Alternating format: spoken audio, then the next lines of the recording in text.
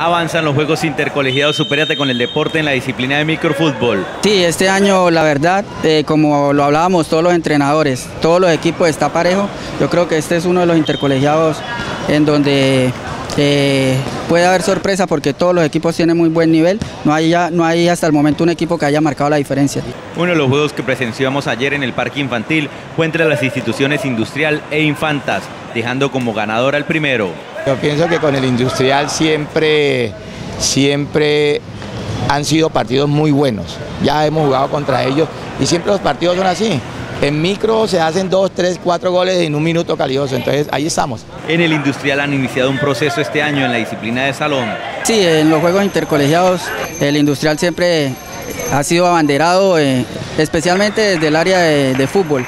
Hemos empezado este año con la meta de empezar a, a hacernos fuertes en el fútbol de salón también. Por los lados del Infanta, más allá de los resultados, lo importante es participar e ir buscando su mejor nivel. Yo pienso que son experiencias para estos muchachos vividas, ¿no? Yo pienso que el deporte y la formación en valores es lo primordial para nosotros como institución. Y yo pienso que ese es el trabajo de nosotros los formadores, de nosotros los profesores. Eh, yo no le puedo exigir a un muchacho que yo no entrene, no le puedo exigir, calioso, ¿verdad? Yo no puedo venir aquí a gritar a los muchachos. Si yo vengo a corregirlos, porque estamos formando para el futuro calioso. Tres fechas de las que hasta el momento se han disputado en la disciplina deportiva